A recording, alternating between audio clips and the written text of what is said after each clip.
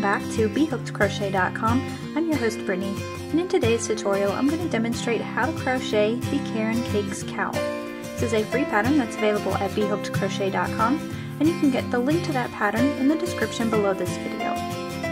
To complete your cowl, you're going to need one Caron cake in the colorway of your choice. I'll be using the color Faerie Cake, and you'll also need a size 5mm crochet hook. Begin our Caron Cakes cow, we just want to take one of the ends. Now you can work from the outside of your Caron cake or you can work from the center.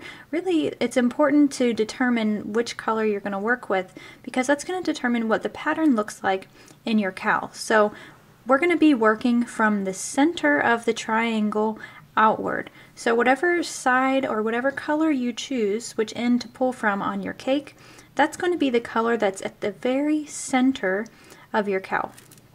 So with that in mind, create your slip knot and then place that loop on your hook.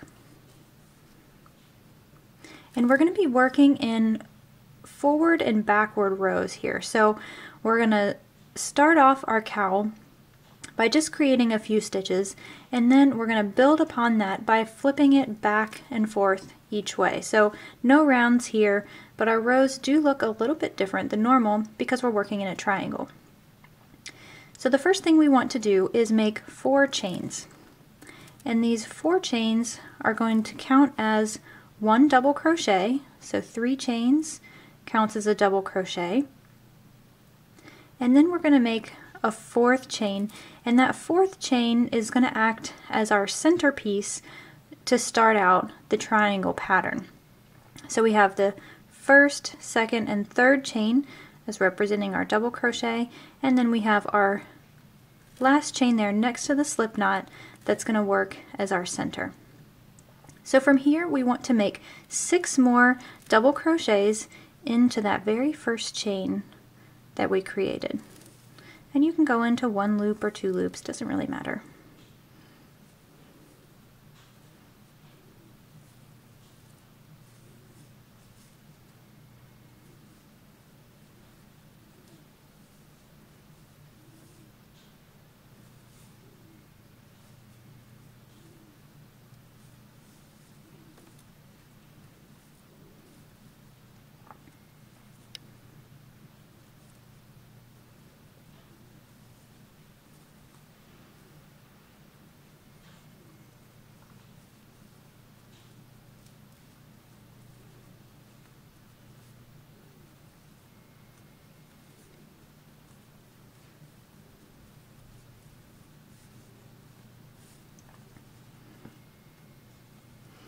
So once you have finished up this first row, your work should now look something like this. It's starting to resemble a triangle. So we have our flat edge here, and then our point is going to be right in this stitch here. So this is how you can sort of visualize how this pattern is going to come together. We're just going to build row after row, and it's going to kind of build out that way.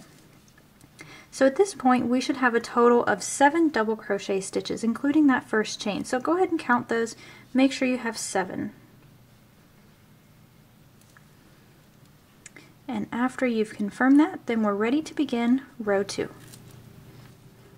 So the pattern repeat for this cowl is very simple. It only consists of two different rows that we'll be repeating as we work through this cowl. And so we're going to start our first row of the pattern repeat with row two.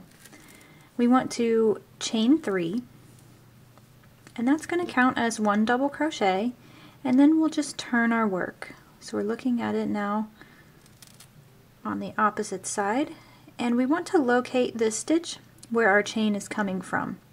So that would be this stitch right here. And we want to make two double crochets into that stitch.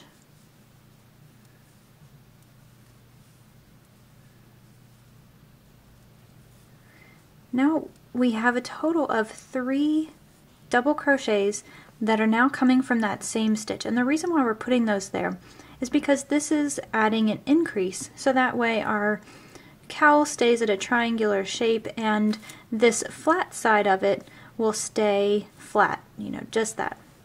If we add fewer than three stitches then it will start to kind of go inward as we work through. So three is the magic number.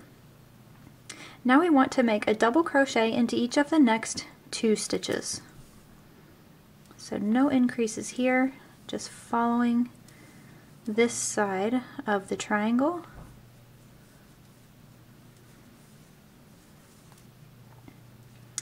Now we've reached the center point of the triangle and you've noticed by seeing the pictures of this cowl that we have puff stitches that sort of look like little buttons that go all the way down the pattern.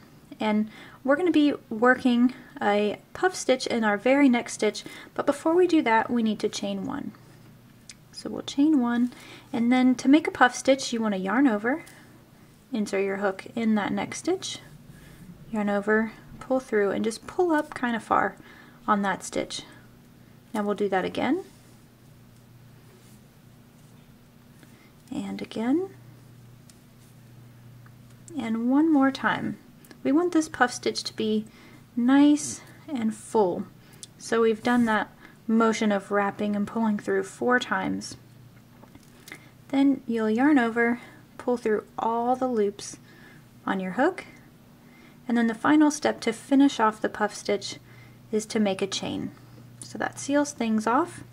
And to keep things symmetrical, we need to now add a chain that'll match this chain over here. And then we'll just make a double crochet into each of the next two.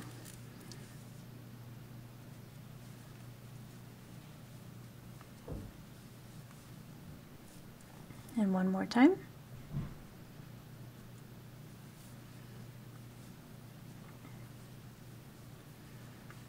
Now we should have one stitch remaining and it's our chain. And we don't have a typical V to work into like we did for these stitches here. But what we want to do is just work our next few stitches into this very last chain, this top chain right here. And I like to just work in, in one of the loops is just fine. And we're going to make three double crochets into this chain. This is going to match the increase on the other side and make sure that everything stays symmetrical and our top edge stays flat.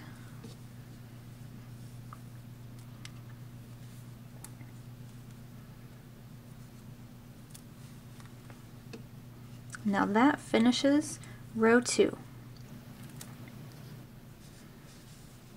Now to begin row three, just keep in mind that this is the second row of our repeat.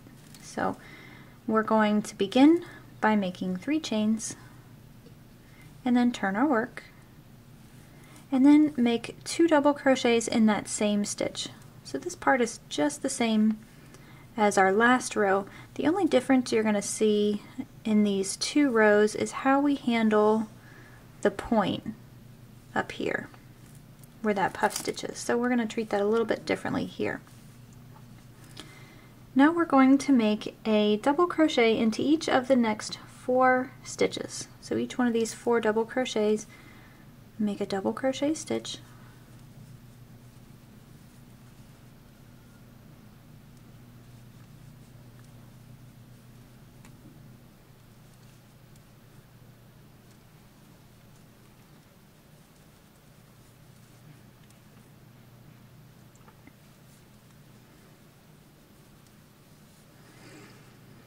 Now we need to make a double crochet in this chain one space. So you don't have to work in the chain or anything like that, just work it around.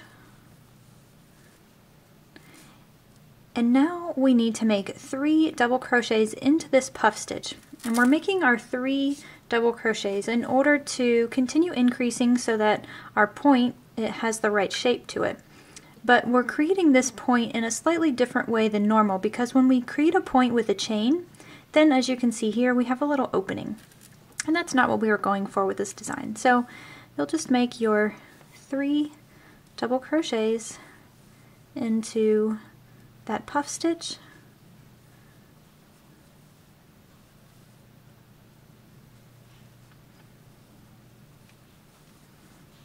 And now just work the mirror image of what we did over on this side. Double crochet in that chain one space one double crochet into each of the next four stitches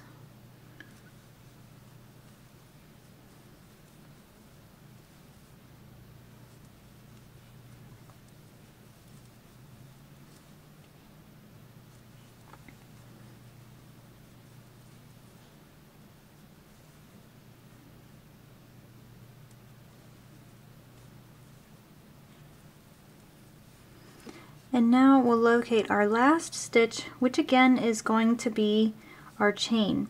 We want to work three double crochets into that top chain to finish off row three.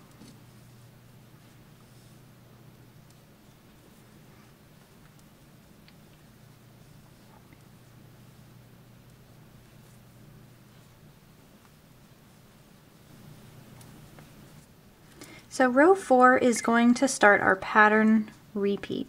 So we're going to work over. We're going to start off with this puff stitch row.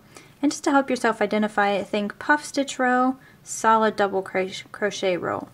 Then we're going to do a puff stitch row and a solid double crochet row. So to begin row four, make your three chains and turn your work and make two double crochets into your first stitch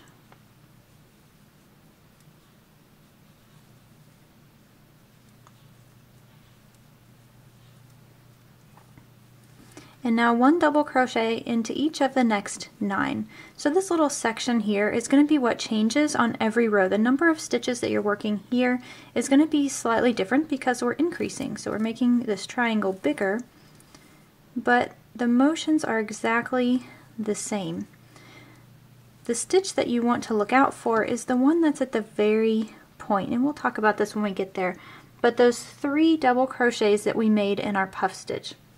Now it might be beneficial for you if you are having trouble seeing the stitches or visualizing the stitches is taking a stitch marker and marking that middle stitch.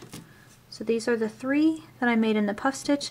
I have my stitch marker and the one that's in the middle because that's the important one. I want to stop double crocheting into each stitch when I get to this stitch marker.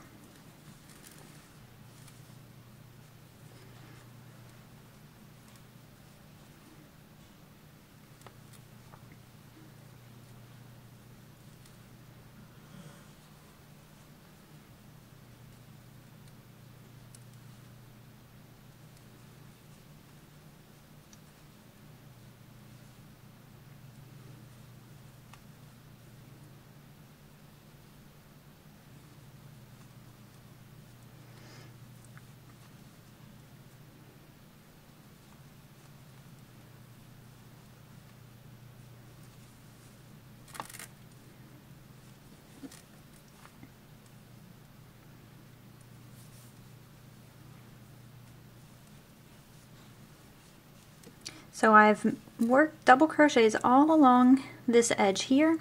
I've reached my stitch marker so we can pull that out.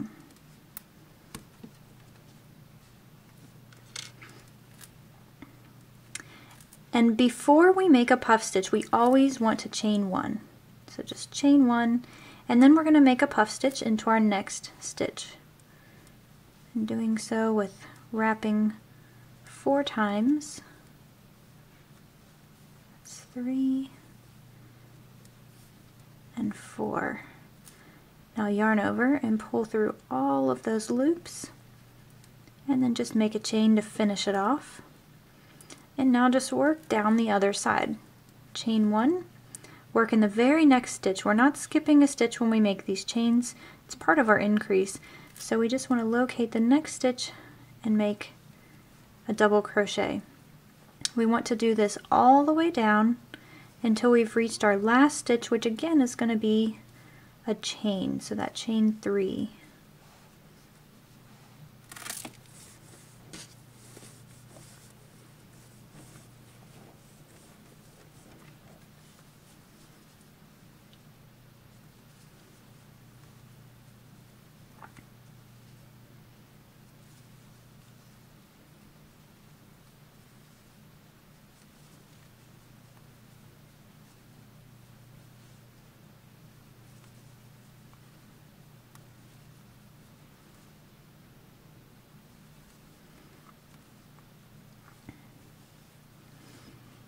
Then once you have just your chain remaining there, you'll make three double crochets in that top chain.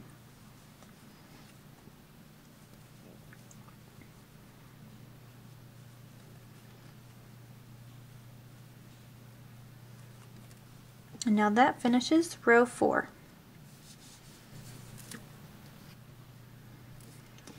Now beginning row 5, let's go ahead and determine which one of these repeats it is. So we just finished our puff stitch row and so that tells us that our next row is going to be a solid double crochet row.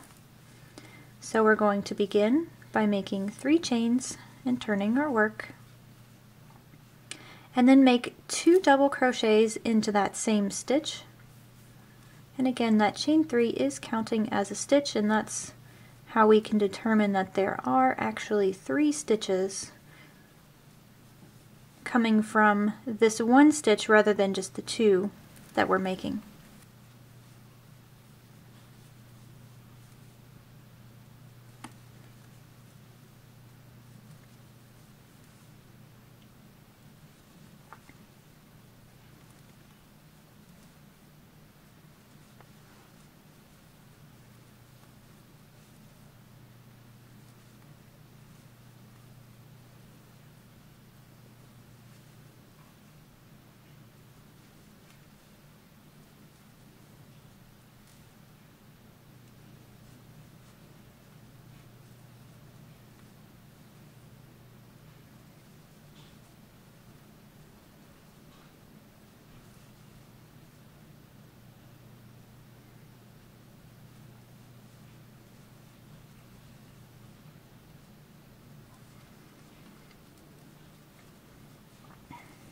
Now we'll make a double crochet into our chain one space there.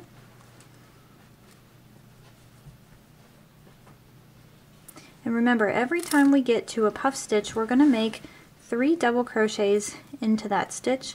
And if you're using stitch markers, now would be a good time to place it. So you make your first one, and then make your second double crochet, and then add your stitch marker to that second one because this is going to be the middle stitch. And you don't have to do this. This is just a, a nice visual cue.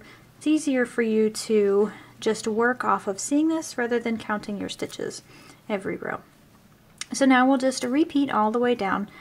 Double crochet into your chain one space and then one double crochet into all of the stitches down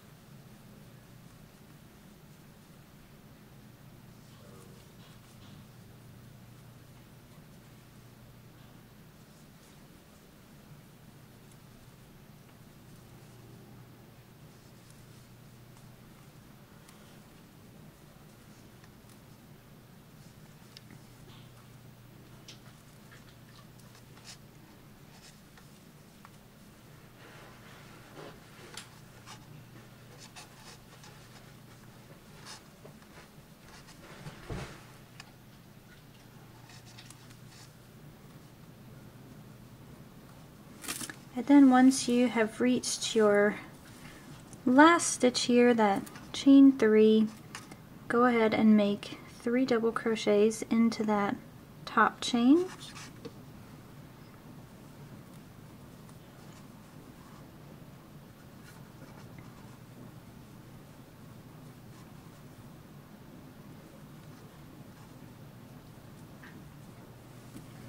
And that finishes row five. So let's just talk for a minute about these Caron Cakes yarn and how these color transitions happen. So when you're looking at it from the top side here, it really does look like we have this ombre or this gradual change from one color to the next. But when you pinpoint where these transitions occur, then you'll notice that it is a sharp transition. So it just jumps immediately one color to the next. And this transition is a little bit harder to tell because we have this kind of a medium color blue that's jumping right into this lighter color blue. And on the white background, you can see exactly where that transition occurs. Now you can either use this as a way to create interest for your cowl. You can just go with it. Just wherever the transitions happen, let it happen. If it happens in the middle of the cowl, then you can go with it. If it happens up here at the end, then that's fine too. But some of you might really like a more of a striped pattern. So you would maybe like for all of your color transitions to happen up at the edge so that you can start your new color just right from the beginning. And that's fine. You can do so by trimming your yarn and kind of planning how these color changes occur. So you would keep an eye on how much yarn you have left over in this colorway. In my instance here, I've got just this little bunch right there. So I have enough yarn to work another row, keeping it all this same color.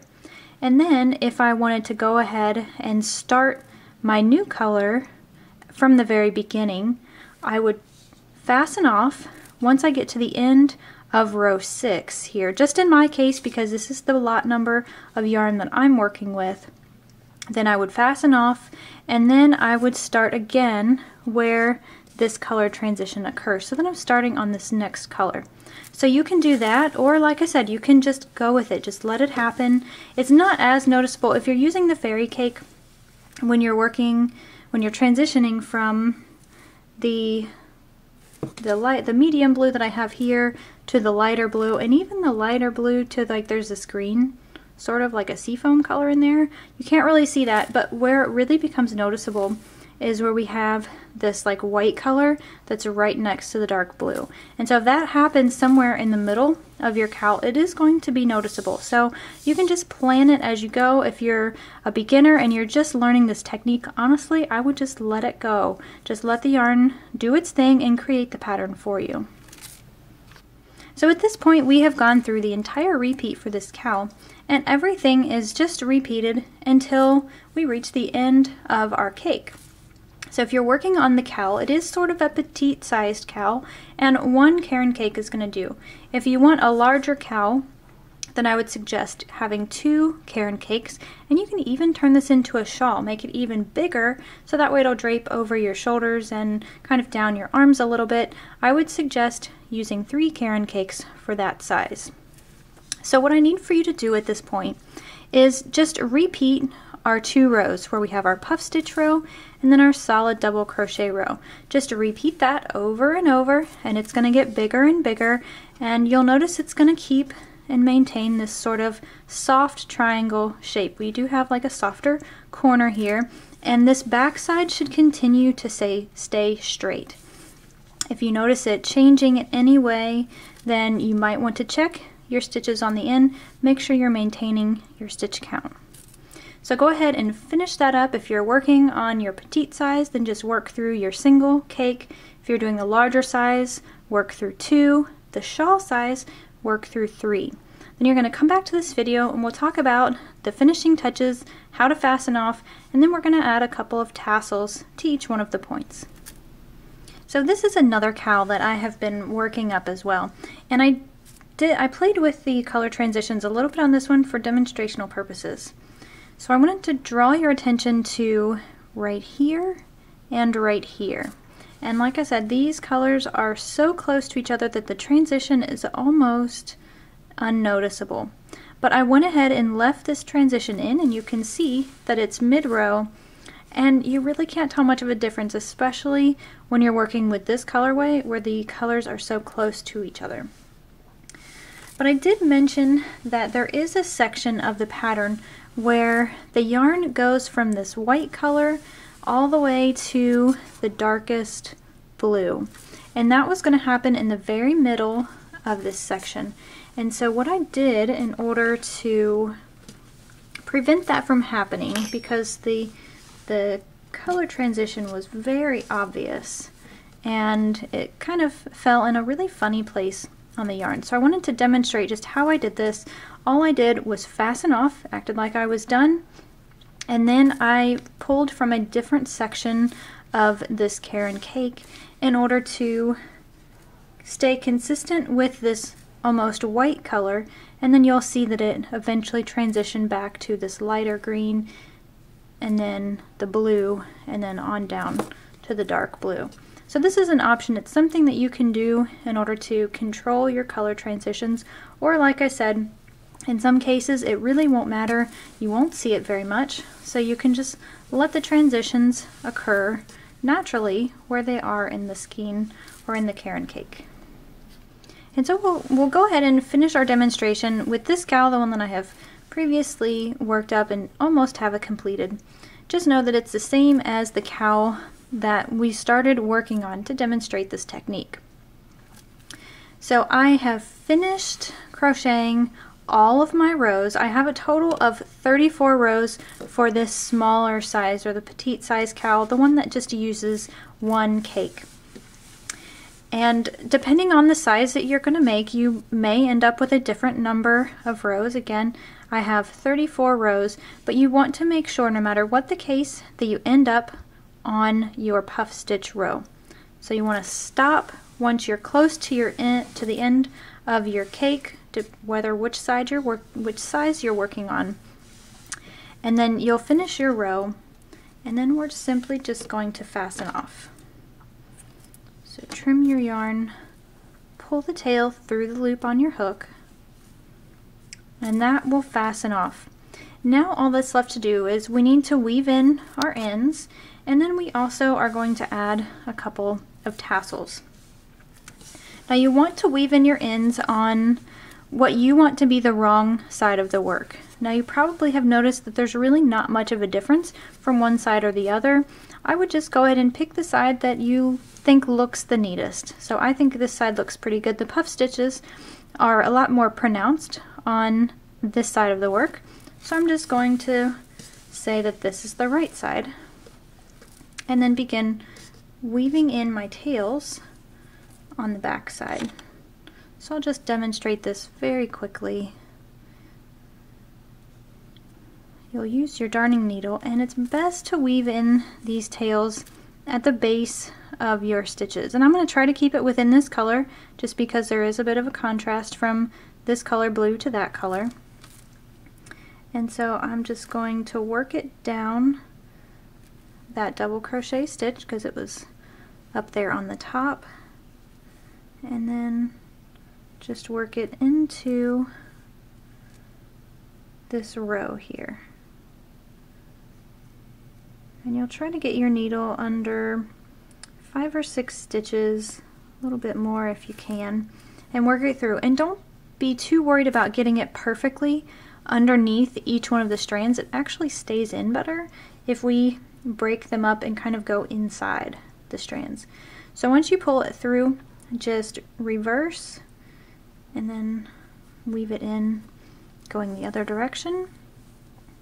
And you can even do that one more time so that you know it is absolutely secure. And then just trim off this extra. Now go ahead and repeat that for the other areas if you had to join your skeins or if you cut like I did here also at the very beginning. Go ahead and weave in all your ends and then we'll talk about adding the tassels. The last thing that we need to do to finish our cowls or our shawls is make three of these little tassels and these are going to be little accents that go on each of the three points. So I'm going to demonstrate how to make one of these tassels now. You're going to need a couple supplies. In order to make the tassels, we have to have something to wrap around. And I found that a little stack of post-it notes, just a little stack that you have, doesn't have to be a full one, actually works really well. It's the perfect size for this cowl. If you don't have a thing of post-it notes available, you can cut a piece of cardboard that's about two and a half to three inches long. And so just know that however wide your cardboard is, or in this case my little post-it notes, that's how long our tassel is going to be. Okay, so you can make yours bigger or smaller if you'd like. For now, I'm going to demonstrate using this post-it note. So we're going to take our yarn and then we just want to fold that top part just over the top and secure it with your finger. And then you just want to begin wrapping. And depending on the material that you're using, you want to be careful not to wrap it too tight. In my case, post notes are kind of flexible. So I want to make sure I am not bending my post-it note or my cardboard or whatever tool that you're using in order to wrap your yarn around because that's going to make your tassels different sizes.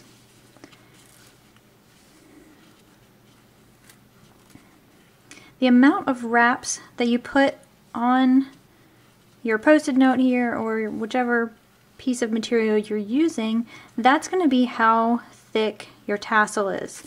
And if you want them to be exactly the same, you could count how many times that you're wrapping. That way you can make them the exact same size. Otherwise, you can sort of eyeball it. Just keep wrapping until you think you have enough. You can kind of gauge how thick it's going to be by looking at it from the side. So I'll go a couple more times. And then once you're finished, then we're just going to lay it down and trim this on the bottom. So I started up here with my loose end. Now I'm going to trim it down at the bottom. And then just keep that steady and don't let it come unwrapped. And now make a cut of yarn that's about three to four inches. And this is going to serve as the little piece up on the top. That's going to be how we secure it to our cowls. So without letting it come unwrapped, just go ahead and slide this new strand underneath and kind of shimmy it all the way up to the top and then tie yourself a knot and you'll pull it pretty tight. You want it to sort of come together like you just saw there. Be careful not to break your yarn. And then just leave that in place. Now we can slide it off of our post-it notes.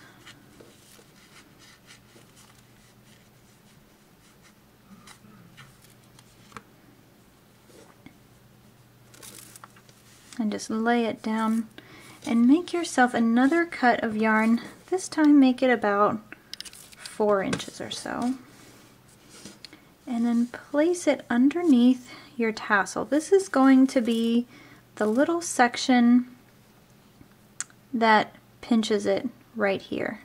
So I am just demonstrating with one wrap. You can wrap this around a few times to get a, like a thicker appearance, a thicker belt sort of thing. Then you'll just place it around and tie it off. And before you pull too tight, you can adjust the positioning of it. So it's actually pretty close to the other one, so I can go ahead and pull tight and then tie it off. Now if you wanted to wrap it around, you could at this point take one of the edges and then just wrap a couple of times. So that way it's, see how you have like a thicker line? I'm going to keep it just one. And you may want to tie this knot two or three times just so you're sure it's secure. This is going to be one of the pieces that holds it together. And then we can just trim off the extra. And the last thing we want to do is trim off these little ends. So you will have to get it all in order and even. You can slide your finger in there and then just take your scissors and trim it off.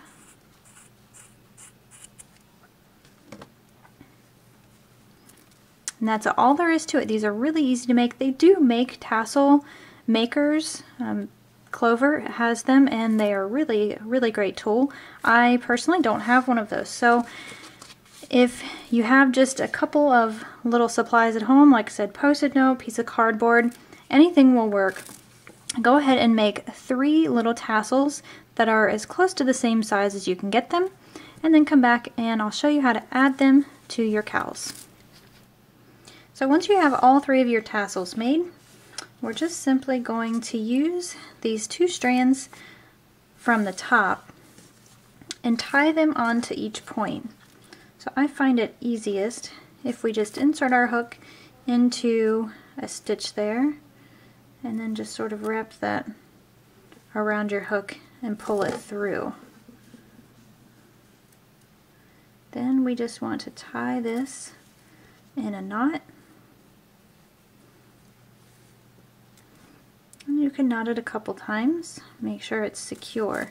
And now you can either trim these off or you could even go as far as to weave them in. That way they'll be hidden.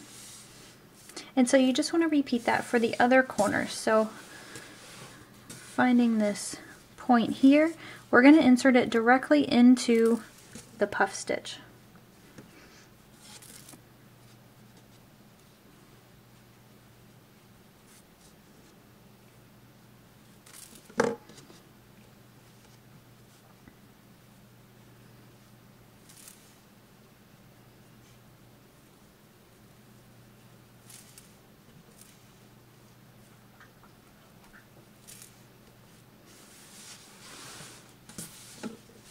And then our final corner, again, this one is going to be the chain. So I would still insert your hook into the chain.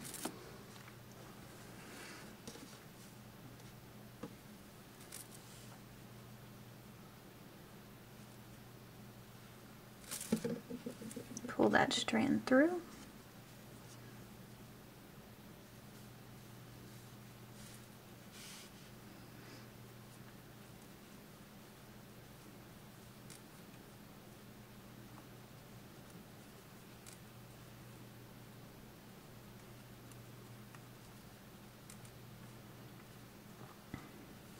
Now, as I said, you can trim these off or you can weave them in. And so at this point, our cowls are completely finished. So just take care of those ends and you're ready to go. This concludes our tutorial today on the Caron Cakes cowl. And there are so many great colorways in this yarn that I would love to see how your cowls look. I've just been working on this faerie cake color, but I'm really excited to see how some of the other colorways are going to work up. So as you're working through your pattern on Instagram and Facebook, use hashtag Caron Cake Cowl. That way I can take a look through the hashtag and see what you all are up to. I do recommend you check out yarnspirations.com. They have a full list of free patterns that are available using specifically their yarn. So if you like Yarnspirations yarn, so we have Caron, Patons, and Bernat. If you're a fan of any of those yarns, you have some in your stash and you're looking for a way to use them, check out their website, yarnspirations.com, and you can find a pattern that's specifically for the yarn in your stash. Now on behalf of BHookedCrochet.com, as well as our sponsor, Yarnspirations, I hope you've enjoyed this tutorial, and I hope you finish your cowl and that you'll share it with me on social media. Until next time, we'll see you soon.